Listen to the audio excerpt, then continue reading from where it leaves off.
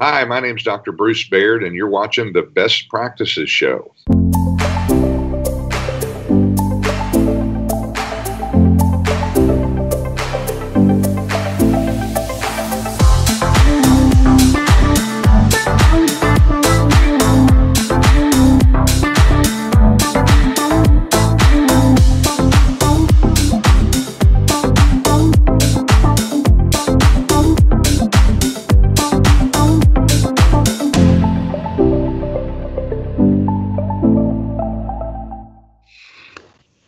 Guys, thanks for watching the Best Practice Show. We take a look at the best business practices from the best dental practices all over the world. And if you're a dentist trying to grow your practice, I know you're thinking about a lot of different things and how to increase your productivity, and it can make you crazy. And today I've got one of the experts on how to truly grow your practice, be more productive without speeding up and making it all about how fast you can go with Dr. Bruce Baird. You do not want to miss this. So do me a favor, stick around, grab a pen, and hit the share button. You're going to love this. Now, couple show notes. We are shooting this live on Facebook. So as you're watching it, if you have questions, feel free to add them to the feed and I'll ask Bruce directly while we have him on because I want you to get the most out of this.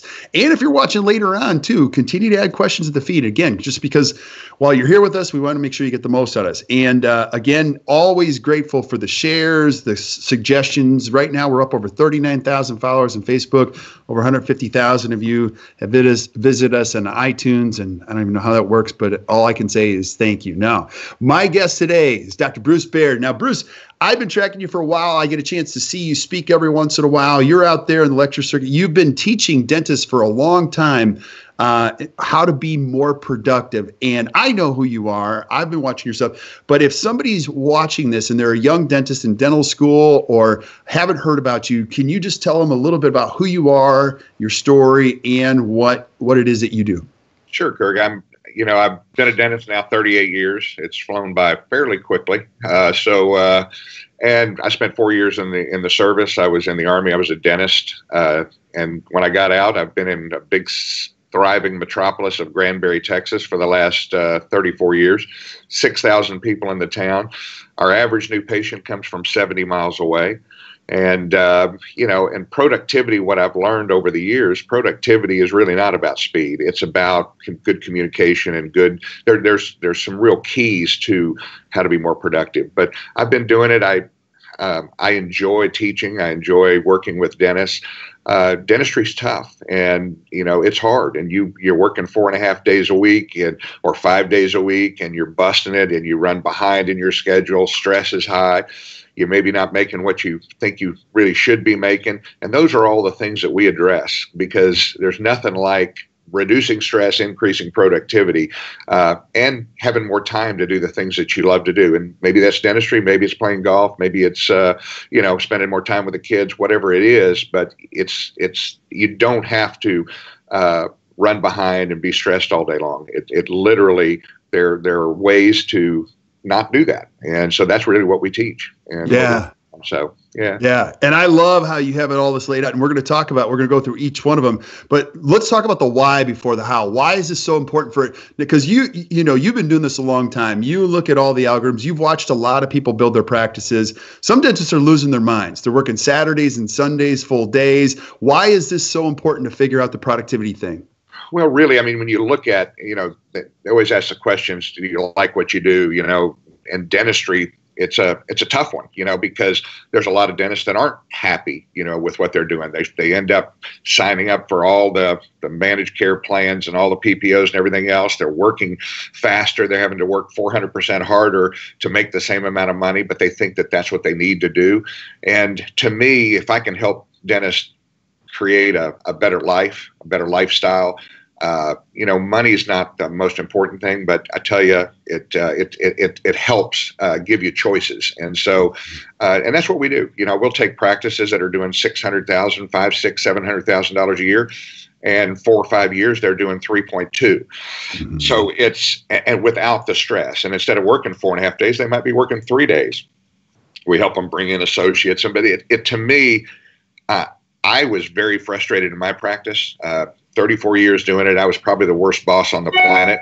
Uh, grew up I'm the son of a Marine aviator, so the uh, your little imitation of uh, Jack Nicholson that was probably my dad, and uh, so I. Uh, you know, I didn't communicate real well, but God has a sense of humor. He gave me four daughters, mm-hmm. and so I had to learn to speak a different language. And and when I did, I started having a team that I got along with, had fun with my patients, uh, you know, having more of a relationship with them instead of just zipping in and zipping out. I just changed the way I did things. And by doing that, uh, I've been working two days a week for the last 14 years, but I'm, I'm, more productive in two days than I used to be in five. So it's, uh, but by doing that and working and helping dentists, that's the why for me. I just, I just get a, it's a blast uh, to watch dentists. And we work with dentists that are just coming out of school uh, dental students all the way to guys that are old like me and uh, that maybe didn't put away some cash and now they now they want to be productive all of a sudden so mm-hmm. uh, but what's funny is it's really just intuitive stuff it's there's no there's no silver bullet there's no secret uh, I always see all the stuff on online. Oh, get the secret to this or the secret to that. There's no real secret. It's just we try to do things in a systematic way to help dentists, and uh, and we've been real successful doing it. And, and it's been, I mean, it's been awesome. I've enjoyed it. That's great. That's great. And so um, we're going to go through this now. If I'm a young dentist, I'm 32 and I'm watching this, I'm like, Bruce, I'm working five days a week. Like I would love that. And you, you, you and I were talking about this before we went live. There's really four kind of critical steps. Like, like you said, it's nothing new. But once you get these down, it adds to productivity naturally. So take us through this. Where do I start? You know, what I always tell folks is it, it, really about the comprehensive exam. I mean, it's really doing a comprehensive exam and having uh, having the verbal skills to feel comfortable sitting down with a patient and talking to him as a consultant or as somebody they came to see you. I, dentistry has really gotten into this deal where it's the crown of the year club. You know, my insurance covers one crown. 95% of all crowns are done one at a time. Why is that? None of us would have uh, if we had five crowns that needed to be done, none of us would do that over five years. We'd want to do it as quickly as we can. So, um, and and so dentists just get locked in because of insurance or whatever. But communication skills to me is number one. And I, speaking, you know, speaking just a few minutes ago about it, you know, growing up, you know, with, with the Marine, you know, the Marine background is is my way or the highway, and then with, with the daughters, I had to start to learn to communicate better with my team, uh, learning to communicate with my patients because I would run behind all day long, catch up. You know, I, I'd, I'd catch up at the end of the day, and that's you know it's just all day long. My my introduction to the patient was usually, "Hi, my name is Dr. Baird. I'm sorry, I'm running behind." That was my lead in on every single patient. And it was like ridiculous. And I, I, after seven years in private practice, I, you know, I wanted to, you know, I, I was getting burned out. Uh, I was seeing 250, 300 new patients a month, which was a full mouth exam, was a mouth mirror. I mean, it was like, you know, it, I wanted it to be a special experience to come to our office, but it, it wasn't because there were just so many patients and and stress levels were super high. But from a communication standpoint, when I learned to sit down and and not talk about, you know, walk in the room, and go, how can I help you? No, I walk in and go, "Hi, Bruce Baird. You know, how long have you lived in Granbury?" You know, and so we start talking off the, you know, off the subject of teeth, and you know, where'd you grow up? And they'll say, "Oh, I grew up in Richmond, Virginia." And I go, "Oh, man, that's awesome." I said, "My family, I've got family from Richmond. Whatever it is, it says, you know, I, I call it linking. I want it to be, uh, I want it to be, uh, uh, you know, a links i try to get three links to a chain that can't be broken and when i say that i want to find out three things that we have in common together. Maybe that we play golf. You're, you're using TaylorMade driver or whatever it is or i look at your address and i know where you live in town. You live close to a friend of mine. Oh i know them. So i'm trying to find common ground with my patients. I do the same thing with everybody i meet. I you know want to find things that you know are, are interesting about them and how we communicate together. And it changes the conversation because the patient you can just see they start to become more relaxed and they start to and then when i say how can i help you? it's literally they're going well bruce you know i'd like to i really was thinking about my smile and you know they'll tell you 10 times more than if i just walked in stuck a mirror in your mouth and said yeah it looks like you need to have a crown done. So it's more about uh, kind of an overall overall uh, looking at the mouth as as a as a whole and just saying, you know, let's take a look. If it's okay with you, and I and I say this every time, I say I could have ten of my dentist buddies come in and we could probably give you fifteen different opinions. And I said, but here's the thing: what I what I'm going to recommend, if it's okay with you, I'll just tell you kind of what I would do if it was me. Now, it doesn't mean it's the only way to do it, but it, you know that's that's what I'd rec- you know recommend. They go, oh yeah, I've never had anybody say no, don't do that. And so I said, okay, well let's just take a look, and then we have a conversation. And I set them up, and we talk about the the dentistry that needs to be done. But it's really about those communication skills and being able to to get on the same page with a patient. People won't buy from you if they don't trust you, and if you just walk in and you just go straight to the mouth and straight to the bottom line and what I tell dentists all the time is just smile, you know, just mm-hmm. smile more, you know. Yes, this is very interesting, but I was in Granbury, Texas, and when I first opened my practice, we had a nuclear power plant about eight miles down the road. Well, all of these patients were engineers. You know, they wanted to know the molecular structure of titanium. They wanted to know what kind of metal you're using in these crowns. They're going, I don't know. It's you know, it's good metal. Don't worry about it. You know, but an engineer has to have everything answered before they can make a decision. And it was so frustrating for me because I'm I'm an engineer when I'm designing cases, but I'm not an engineer when I'm visiting with people, when I'm talking to people. You know, and so I'll walk in, my my team will come in, they go, We got an engineer. We only have two types of people in the world, engineer non-engineer. And if it's a non-engineer, I just go in. Uh, you know, I might walk in and high five. I've I heard them their voice, and I might come in and go, "Hey, Bruce Baird, so nice to meet you." And but that's very different when I go into an engineer because I'm got my eyebrows. I'm like, "Hi, Bruce Baird," you know, and you know, I understand you work out at the nuclear plant, or you, you know, whatever. And so I try to accommodate those different things. So I had to learn to speak engineer language. The frustrating thing for dentists, most dentists, are engineers. I mean, we learn we like to tinker with little things, and and so we want to show you everything, and we want to make sure you see it. Whereas probably eighty percent of your patients are not engineers; they don't need to know all the details. You don't have to have full mounted models with, uh, you know, facebow transfer in order to sell a case. All you have to do is communicate with them, get on the same page. They they once they like you, once they trust you, that what what you recommend if they could afford it they're going to do it. If they can't afford it, we come up with a potentially another another game plan for them. But usually, it's always working towards optimal dentistry. You know, that's the way the way we looked at it. So. Yeah, this is great. And now I love where you start with this communication in communication, but you get to see dentists all the time. Sometimes people skip over this one and go, oh, I'm a great communicator. Do you ever stop learning how to be a better communicator? I don't. I mean, I'm, I spend every, I mean, how, how do I, if I feel uncomfortable, you know, there's something wrong. And so I, I will walk out of the room, you know, I'm going like, man, this is a tough one. I've got to go back in. I got to be on my top of my game here, you know, because uh, some folks it's hard to communicate with. I mean, they walk in, they got their arms crossed, their wife made them the appointment, they don't want to be there. They're just like um, they're generally pissed off, and they're just sitting there. And I'm like, okay, you know, and, and so I'll just start talking to them about their set, the cell, uh, where they live, where they grew up, and pretty soon they're relaxed. And uh, but you're always learning. You're always learning, and I'll try new little ways of describing things. You know, in incisal edge composites. You know, I tell people it's kind of like an M and m If you turned it on its side and you started shaving the top, you'd have a hard outside and a soft inside, and that's what's happened on these lower. And they go, "Oh, okay, yeah," and we can fill that with something that's acid resistant. Patient goes, "Oh, that'd be cool." So it's you never you're never going to stop learning. I hope I don't stop learning. Uh, you know how to communicate. So it's it's it's what I enjoy doing. It's what I love about dentistry.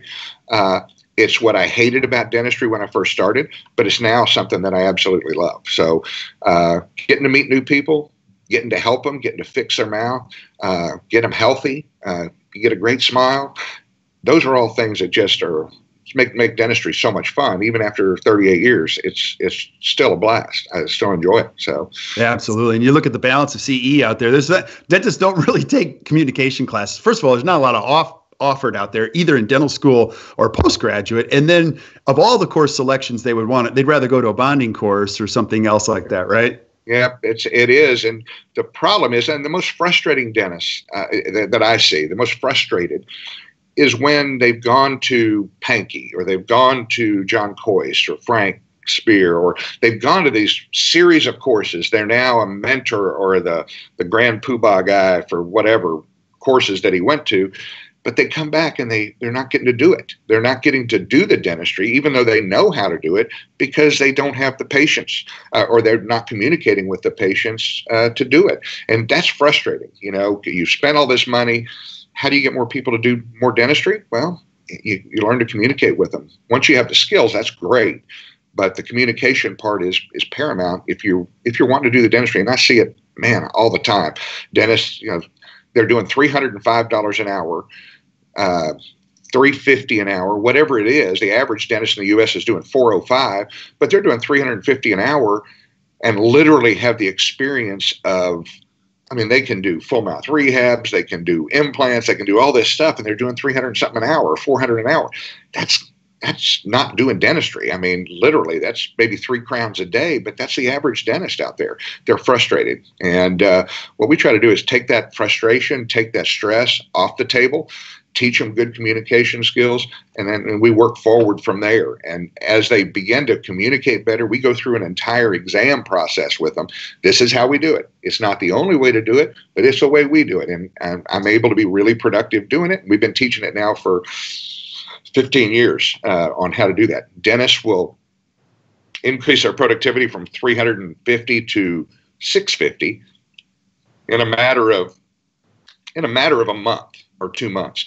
Mm-hmm. What does that mean? Well, that means an additional $500,000 in their practice. Well, now you start to make choices. You know, most dentists don't market. You know, they're mm-hmm. not marketing. They're not doing anything. They, you know, and, and so what we do is we we systematically first get them where they're communicating, doing comprehensive exams, looking at risk factors with patients, and then we take the next step, which is now let's start to market towards patients that need the services that you want to do. I always tell tell folks, I mean most of us and I'm I'm guilty of this also. We do a comprehensive exam on everybody, but a lot of docs haven't done that. They've just been doing one crown at at a time. And so they have all these patients in hygiene that really I tell them let's let's pretend they're a new patient. You know, let's pretend they're a new patient because I haven't done an FMX on them in 12 years. I mean, I haven't really done anything. They've been coming in for their cleanings fairly regular. So what I'll go in, I'll say, "Hey, Kirk, you know, I've been we've been watching a lot of this stuff for a long time. Why don't we do this? I'd I'd really like to get some individual X-rays, and let's set up a time where you and I can just you know visit about it because I, I think you can see things." And they'll go, "Absolutely, that sounds great." I already have a relationship with those people, so it's easy. It's not a new patient, but I can now begin to function at, with a new system on how to do the exam. You know, lean the patient back, set them up, go through it, and so that's what we teach at PDA. And and increasing productivity gives you choices, and by having choices, we talked a, a little bit about it's not about speed.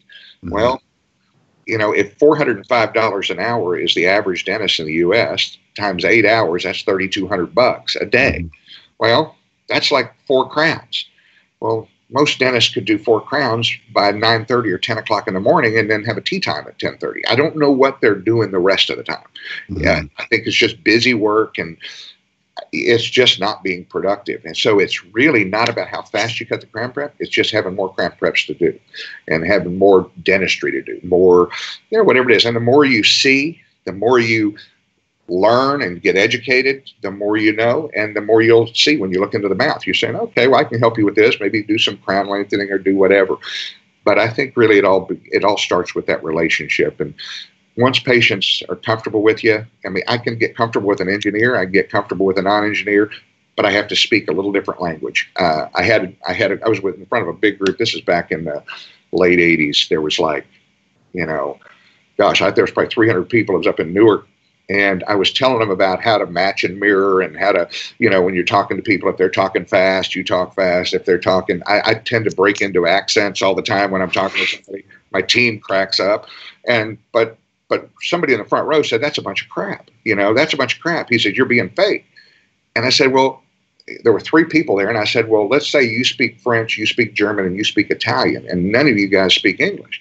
I got to learn how to speak French, German, and Italian to you because if I don't, you're not going to get what I'm trying to, to share with you. And you came to me, hopefully, to find out what to do with your mouth. And so we market for train wrecks. I like that. Uh, and we get them and so that's uh, that's what we do. But it's all about, again, all about communication to me. Yeah. Now I want to go back because this is really good. You have been a big proponent of just really understanding what it means per hour. Now, a lot of times dentists look at production, it's a tally at the end of the month, and they go, oh man, we didn't do any better. I want you to talk about that because that's really an important metric is to know how much you produce per hour, right? It is. It is for it is for me. And people joke about it. They said probably you know how much it costs you if you go to the bathroom. And I, I mean, I I don't break it down into minutes, but you know, production per hour is a good benchmark uh, when I start looking at that, and because we can see improvement. I mean, most dentists, you know, they've done 600 an hour, 800 an hour, whatever it is, but they just did it one month. And I wrote a series of articles in Dental Economics. It was called the Dental Roller Coaster. I mean, most dentists, I mean, it's this month I'm rich, next month I'm poor, this month I'm rich. When I'm rich, I spend it. You know, when I'm poor, I get stressed. And so you know, you do a bunch of crown and bridge, you have a good month. The next month is when all the bills from the lab come in. Now you're going, oh mm-hmm. crap! Now I already spent that. So it's it's a very very up and down, up and down. What we teach is I want it to be steady. I want my production to be steady. Uh, I want I set my goal beginning of the month, uh, and I say this is what I'm doing.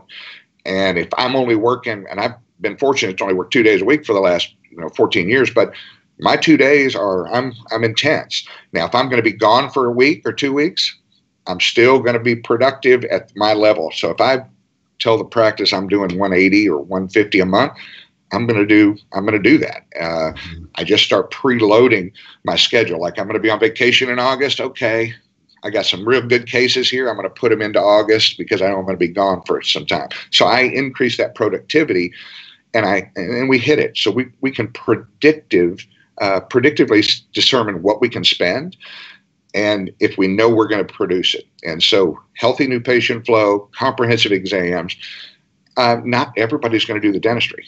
You know, mm. not every single patient is going to do it. But if you have a healthy new patient flow that are coming in uh, and you're doing the same type of exam, the same communication skills, what you find is you start doing a lot more dentistry, and it happens very quickly. It's uh, it's interesting. We see docs that go up you know 500 800 an hour.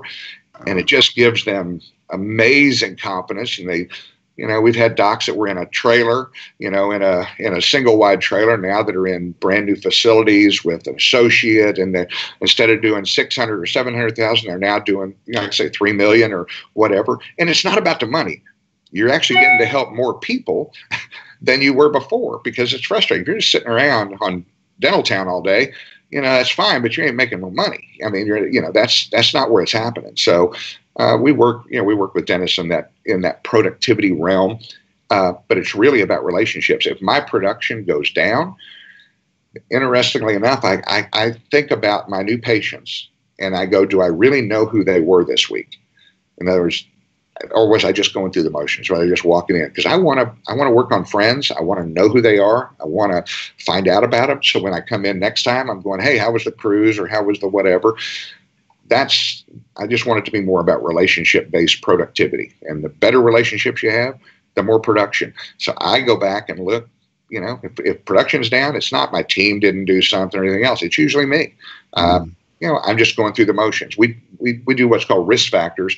John Kois started out with, uh, you know, you have periodontal risk, you have, you know, biomechanical risk, you have functional risk, you have aesthetic risk. I added two more. I added physiologic risk for sleep apnea and psychological risk because I want to find out if this patient's psycho before I start working on it. You know, so we're gonna we're gonna go through those risk factors, and as I go through them with them, patients understand now that their mouth is, you know, they, they understand they have treatment. You know, yes, you've had gum problems, but let's solve that. Let's you have decay issues.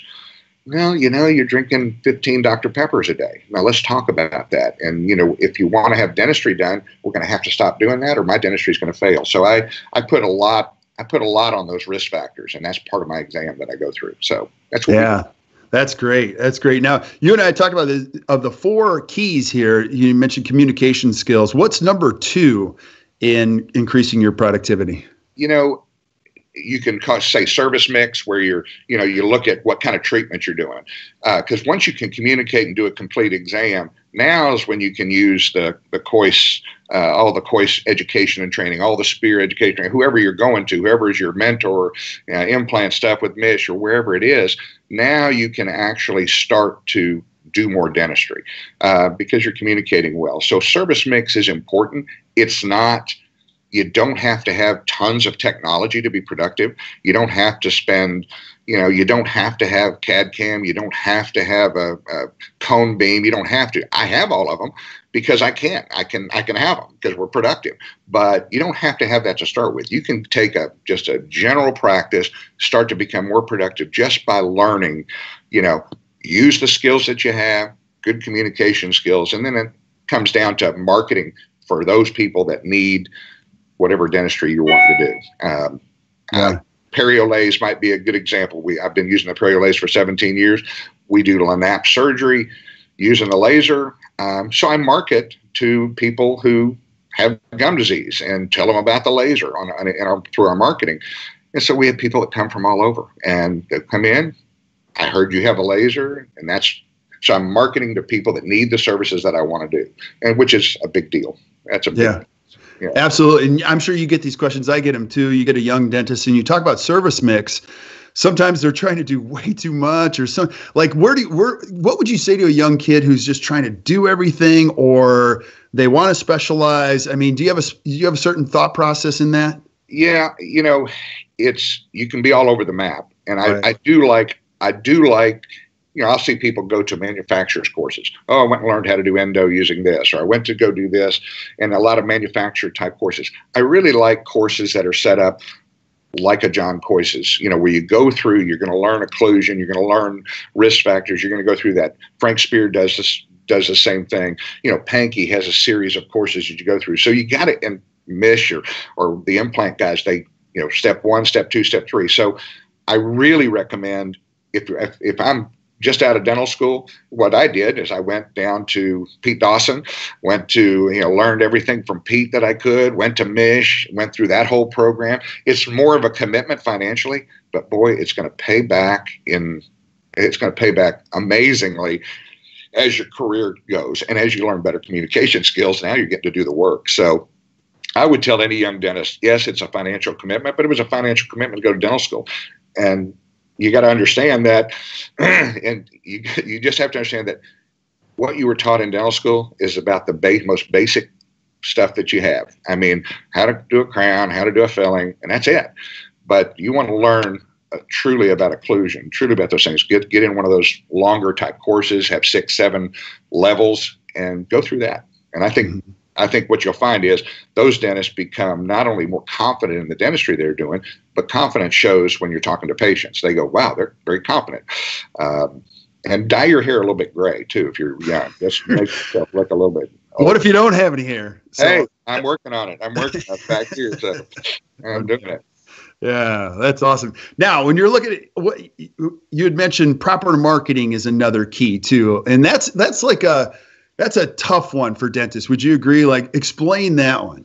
Well, the marketing. First of all, the average dentist that comes through Productive Dentist Academy markets at about, oh, I think 1.4 percent of their revenue. I mean, no business. There's no businesses out there besides dentistry that market so little and expect so much. I mean, you know, phone companies. I mean, all this stuff. They they spend a significant amount of amount of money. What we recommend is an 8% marketing budget. But how does that work? Well, if you look at my, we'll, we'll look at a combination of two overhead items. One would be the average guy comes in is like 1.7, 1.4, 1.7%. Their, their team overhead is uh, close to 30, 30%, 28, 29. Well, let's just say 28 and it's two, they're at 30% overhead for those two items. My team overhead is 17.5%. Hmm. I've got an 8% marketing budget. I'm at 25.5%. They're at 30% of their overhead, but I'm penetrating the market at an 8% rate and they're penetrating the market at a 1.6. Plus, all fixed expenses are driven down, including the cost of my building. Everything else is driven down. So the more I market, the more money I make, and the lower my overhead goes. It's hard to it, it, it's hard to grasp that as a dentist sits there and he goes, man, you mean if I spend more money on marketing, I can actually drive all my other costs down to offset that? Yeah, you do. But they'd rather sign up for maybe a PPO that offers a 30 to 40% discount on their fees by doing that, it just absolutely kills you because now you're going to have to work at least 400% harder to make the same dollar that you were going to make. So, and I'm not saying, I mean, there's a lot of good ones, I'm sure, and everything else, but my, my way is I want fee for service people. Uh, who needs the dentistry right now? People over 55. And uh, who has the most money? people over 55. You know, so if you're going to a Kois or going to a Spear, or going to one of these courses, you need patients that need you and need your your services and what you've learned to do. So I market to them. Them, hey, come on in, and I, I educate them through our marketing. I call it educational marketing. I'm not going to two for one happy hour on Friday, or you know, or we're having the blue light special on Wednesday. I don't do any of that. I just tell them, come see us. We do, you know, we do implants, we do you know, pretty much everything. So, and that's the way we work with guys. We up upsell upsell their marketing. That the hard part is we would for a long time PDA we didn't have a marketing company. We would send to our buddies, and we believe in a budget. So we would say eight percent. So if you're if the previous month you did a hundred grand in collections, then eight percent would be eight thousand for this month. So we would send them to our buddies out there we know all the names of marketing companies, and they would upsell them to some hundred thousand dollar marketing plan that totally blew their budget. And I was like, we sent them to you. I actually sent them to you with a budget in mind, and you upsold them to some thing that they don't need. What we do is work within a budget and say, let's get your eight percent, let's do it, and as you grow, guess what? Your marketing budget goes up. So if you're at 50,000, you're doing 4,000. Now you're doing 100,000. You're at eight. Now you're at 150,000. You're at 12. My marketing budget is, you know, 35,000 a month in a town of 6,000 people. So I could have every billboard in town if I wanted. I could have, you know, which is definitely not something I would do, but I can do whatever I want as far as marketing because I have the revenue to do it. And so I can reach out on radio. I could do, I don't do TV, but we do radio. I've got a face for face for radio. So it's that's what I like to do, and uh, and that's why our average patient comes from like 70 miles away. I mean, we're we literally people come from all over North Texas uh, to come to us because they've been hearing about us for the last 13 years, and they go, man, you know, I need to go down and see those guys. Yeah. So that, that's what we do, and marketing plays a huge role with service mix, and and we kind of customize our marketing for our docs. If they love doing CEREC or whatever it is, then we make them the CEREC doc in that in that area. Because or if it happens to be implants, I learned a lesson a long time ago. I had a good friend of mine. We were on a golf course. He comes up and he goes, "Hey, do you like my teeth?" And I was like, "Yeah, Kevin, I, I like them." What'd you do? He said, "Well, I got veneers done." I go, "Well, why didn't you come to me?" He said, "Oh, I thought you just did implants." because I had been marketing for like three years, all implants, all, and I, I went, oh my gosh. And so I changed that, didn't do any implant marketing for a long time because I like doing everything, you know, whatever it is. And so I changed up that marketing to where it was, you know, some about cosmetic dentistry, same day smiles, teeth tomorrow, uh, you know, whatever it is. So I keep it fresh and keep it new as, as we go through uh, all of our marketing plans. And, and we have a budget, we, we run on, on that budget and we grow. And the business continues to grow. It's grown every year for 34 years and it keeps getting bigger um, and that's just fine with me.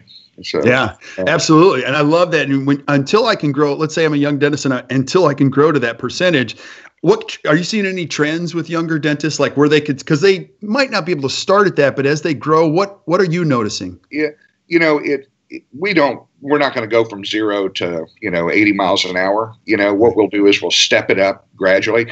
The better they get at communication skills the less new patients they need.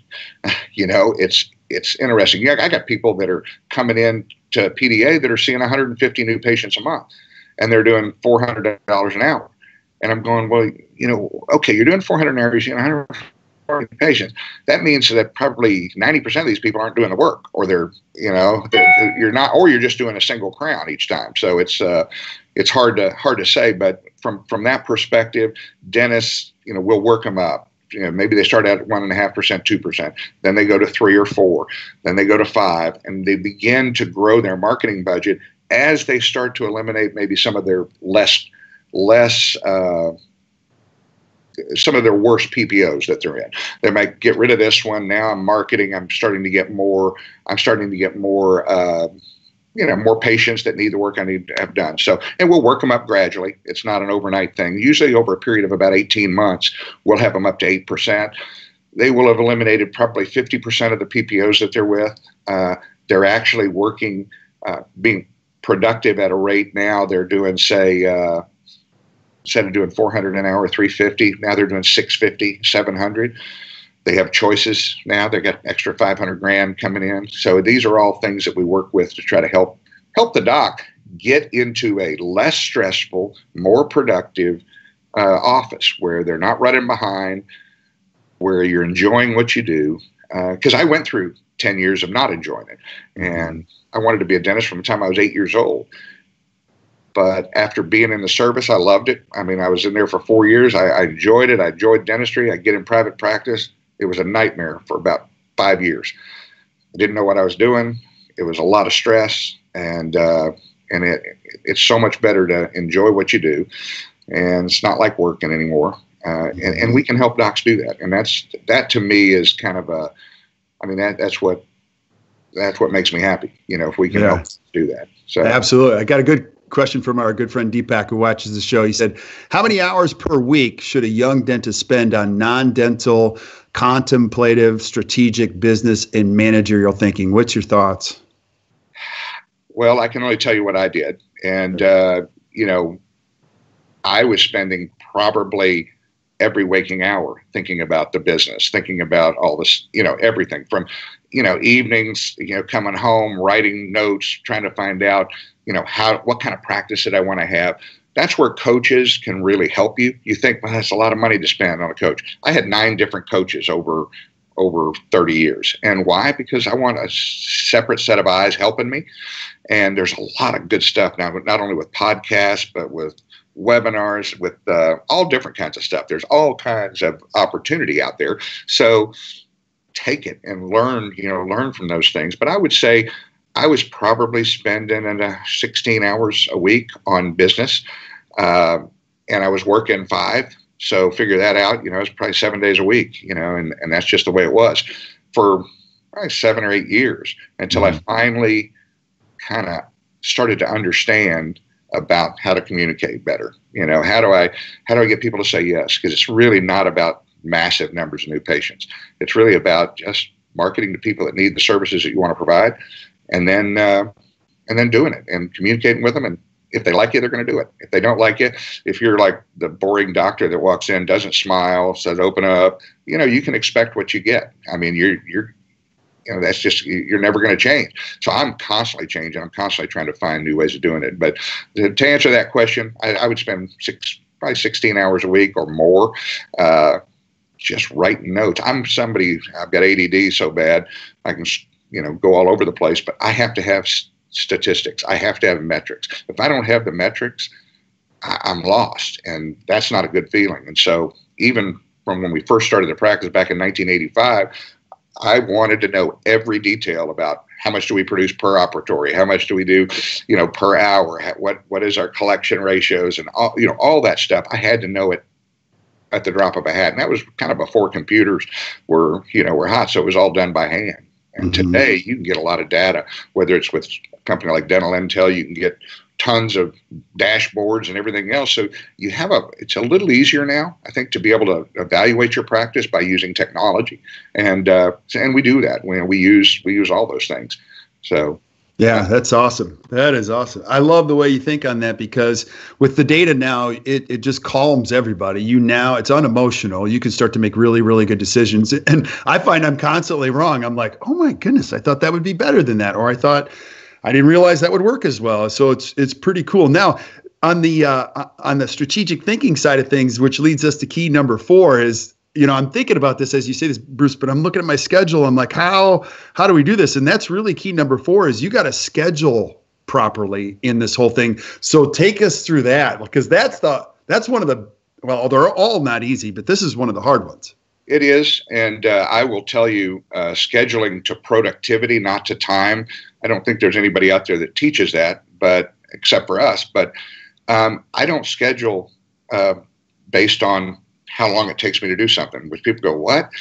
What we do is we teach guys to everybody knows about block scheduling. You know, there, there's 10 different rules or whatever. I don't pay any attention to it. But what I do is if I've got three crowns that need to be done, and let's just say uh, that's $3,000, and my goal is 500 an hour, mm-hmm. then how long do I book for, for that? If, I, if it's my goal, 500 an hour, and I got $3,000 worth of dentistry, how long do I schedule for it? And I'll mm-hmm. ask the docs in the audience, they go, three crowns, it'll take me about 40 minutes or an mm-hmm. hour or an hour and a half. And I go, yeah, that's that's right. How, how long are you going to book? They go, well, I'm going to book about an hour and a half. I go, oh, okay. No, how do we do it? I would book six hours. Now people go, what? That's the stupidest thing I've ever heard. No, I book six hours. I, I work out of three chairs, uh, doing doing operative dentistry, but that one chair now is six hours booked at 500 an hour. So mm-hmm. that's my goal, 500 an hour. All I got to do is find one more, you know, thousand dollars to to put in my schedule, and I can. So I'm not running behind, and it's it's totally counterintuitive. But most people, it takes a while to get it. But mm-hmm. once you get it, who's responsible for my schedule? I've got Gay responsible for chair one. I've got Summer responsible for chair two. Shannon responsible for chair three. Nothing gets put in that schedule from the front desk. Now, that sounds crazy. They do put stuff in there, but they send a little instant message and saying, Hey, Summer, I just put this patient in and I wanted to make sure it was okay. I told them I would call them back and change it, or if you need to call it back and change it if you don't have enough time. Mm-hmm. So we have actually trained our front to communicate with the back to make sure that that schedule my team knows if I'm doing three root canals, which I hate root canals, but if I'm doing three root canals, there's not a lot of other stuff I can do. I'm going to be sitting there and I can't go anywhere. And uh, so what I like to do is, if I have an implant case that's eight thousand dollars for four implants, it's going to take me an hour to do it. How long do I book that chair for? All day. If my goal is a thousand, I just book it all day. Mm-hmm. That chair is now complete, and my goal for the day is complete. People will say, "Well, what about? Uh, what if I had a three-unit bridge come in?" This afternoon. You know, it's, it's Friday afternoon. They need a three unit bridge. And I'm looking at them. I'm like, and they go, I'm ready to do it right now. Mm-hmm. And I said, when do you do it? And every dentist in the room says the same thing. I do it right now. You know, if they're ready to do it and they got the money because they may not come back, I don't do that because that, that would stress my team out, stress me out. I've already made my goal for that day. Mm-hmm. On goal for that day. Uh, I'll look at Monday. I'm on goal for Monday. I look at Tuesday. Hey, I'm not on goal that day, and I'll say, Hey, Kirk, can you? I, I want to make sure we have plenty of time. You, can you come in on Tuesday at like nine o'clock? They'll go, Yeah, yeah, I'm, I'm in, t- I'm in town. I go, Okay, well, let's do it then. So I'll move it to where I need it to keep my consistent production there. Mm-hmm. Now, what if I'm what if I'm up up to goal? Like there are months that I start the month and I'm already on goal for the month. I already have everything booked, so I've got X amount of dollars on the on the books. I'll do it today you know, I'll, I'll sit down, do the three, you know, it doesn't take that long to do. I just do it today. But I don't want to have a great day one day and a lousy day the next. It's right. just stressful. And uh, so scheduling to productivity is very different. X's and slashes is what we've all been taught. Mm-hmm. Nothing changed and the X's are doctor's time. And in Dentrix ideal scheduling, it would be XXX, XXX, XXX, and this is the perfect day scheduling so that you not can't be in two places at one time. Well, that's the most least productive way of doing dentistry. Why? Because you're you're doing a number 19 and you're doing a DOL or something, and all of a sudden, up oh, there's a pulp horn. Oh, it looks like we're going to do endo. Now you're doing endo. When are you going to do the endo? Right now. Now you're running behind now you have three hygienists standing outside your door waiting to come get a check. Uh, their patients are behind. Your patients are behind. When do you catch up? At lunch. So you work through lunch. You finally catch up, and then you start over in the afternoon, and the same thing happens again. Oh, something came up. Oh, can we just can we do three teeth today? Oh, yeah, we can. I mean, dentists are they'd almost rather be non-productive uh, from a stress standpoint. They go, yeah, I don't know if I if we can do three today. Yeah, I'm do it, but it's all about it's you know it's all about scheduling and mm not running late for lunch, not running late at the end of the day, not having patients wait, not having hygiene patients wait. Because when you got people out in the waiting room, you know, they're all waiting for 30 minutes, 40 minutes. Pretty soon they start talking, they're upset. And now you're dealing with those issues. I call those training opportunities. And every time I have a training opportunity, I want to solve that issue, whatever it is. So, mm-hmm. uh, but scheduling is a is is paramount. It's it's probably you know, short of communication, but if you can communicate all day long, but if you schedule poorly, you're going to be running behind, and it just breaks down. The whole thing breaks down. Yeah, and so just so I heard this right, so you have those three ops. Each person, uh, you have a team member that's responsible for that op all day long, and they have a good sense of what you can manage. Now, here's the natural question that a dentist, like Bruce, what do I do with hygiene? You know, how many hygienists? Like, because you know that que- you get that question yeah. all the time, right? I do. We're doing an over-the-shoulder course in my office on Monday and Tuesday this next week, and people are amazed because I mean, we're checking some days, we're checking five hygienists or four hygienists. And I have plenty of time. If I booked three hours to do something that only takes me 45 minutes, but it's at my goal, whatever it is, my goal is close to 3,000 an hour. So now I've got time to go check hygiene. I'm, in fact, I'm usually, they bring me a little slip of paper at the beginning of hygiene and they say, all the risk factors are here. Yes, they wear a night guard. Are they wearing it? Yes, da da da. And so I, I said, I'll be there in just a sec. As soon as I get a break, I've got plenty of time to do the work I'm doing, and I go check my hygienes. And and when I check hygiene, the understanding is all of my patients have had a comprehensive exam. So when I go in, they've already been diagnosed. So I'm not going in with an explorer going, okay, uh, let me let me see how the hygienist did on her cleaning. I, my hygienists are that's their that's their job. They're great at it. And I mean, I don't check and see if all the calculus is gone or anything. I come in and I, I go into the relationship mode with the patient. How you been? Good to see you. How's Bob? How are the kids? Da, da, da. Then I say, let's take a look. I look at their x-rays. I take a mirror and look in the mouth. Mm-hmm. My, my hygiene exam is one minute or two minutes. But a minute and a half of that is me high-fiving the patient and – rebuilding the relationship that I may not have seen him in a year. And so that's really what we do. So it doesn't take me long to check hygiene because they've all been diagnosed and treatment plan. I call that the hygiene annuity. It's uh, it's just sitting there. All this dentistry that needs to be done is just sitting there waiting to be done. And so when I go into hygiene, what if we have openings tomorrow in the schedule? I look at it and I go, my favorite deal. Hey, Kurt, it's time. These things we've been watching them now for four years. It's time. You need to get it done as soon as you can. And no pressure, but I mean, you really do. People will say, well, that seems kind of weird. You're just telling them they need to have it done when you need it on your schedule. No, I told them it needed to be done four years ago.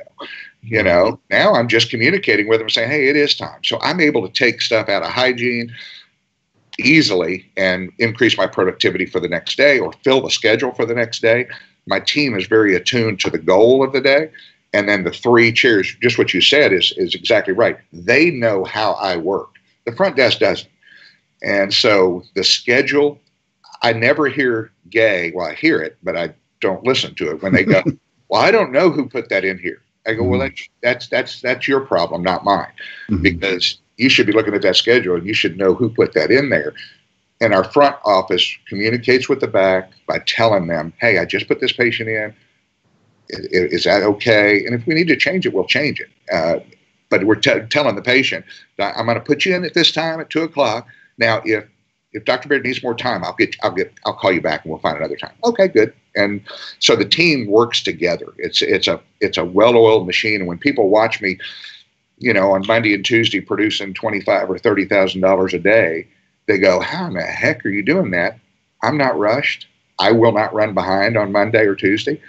I will be done by five o'clock, and uh, that's it's a much much better way of practicing dentistry when you're not stressed out. And what you find is you're able to actually have more fun, mm-hmm. have relationships, have more time to talk to patients. So it's uh, but it's about you know it's about communication, you know, marketing, service mix, and scheduling is the is the big deal. So. Yeah, and Bruce, I am so grateful. I know you're a, a, busy. I should use not busy, but productive man. You've got a lot going on, and for you to carve out an hour and just spend it with us, I'm so grateful. I know you got to run here in just a second, but like if people are watching this, and I know they're going to want to reach out to you, learn a little bit more. How can we? And keep in mind, people are listening to this on iTunes. How can I find out more about you, what you do, and some of that information? Um, go to you can go to Productive Dentist Academy, uh, productivedentist.com. Uh, go on the website. Uh, it has all the phone numbers, everything else you can call. You talk to Chris Moriarty. He'll do a, a they do a free practice assessment to kind of find out how can we help your business. There are some some guys. I mean, we refer. We have a quite a group of people that we refer to. I mean, if it's somebody who's doing startup DSOs, I've got guys that do that stuff. I don't do that. I teach productivity, you know, so we, we kind of find out is this is this going to fit for you? And if it does, then that's great. But we have our own marketing department, we have our consultants around the country, and so we can we can customize. I, I don't believe in uh, a cookie cutter approach. I, I like the fact that we have different coaches with different skills and different skill sets they know the front desk, they know the back, they know hygiene, and you know, so we we work independently with those docs. So if anybody wants to know, I would go to productivedentist.com.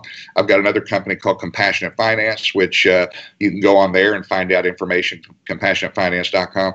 It's uh, you know, it's another new way of of getting patients to say yes to treatment. So, uh, yeah. but I'd love to hear from them.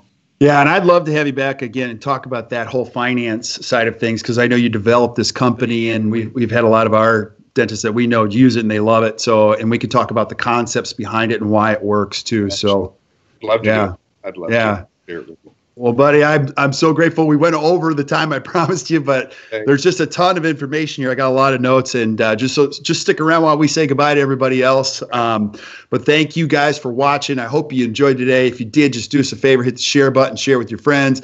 Continue to add questions to the feed. If there's things that you'd love to hear from Bruce uh, and different topics, add them or send them send us a note. We'll get them back and I'll ask him all the questions that you guys want to know about. But until we see you next time, keep watching the Best Practices Show. You guys enjoy the rest of your day.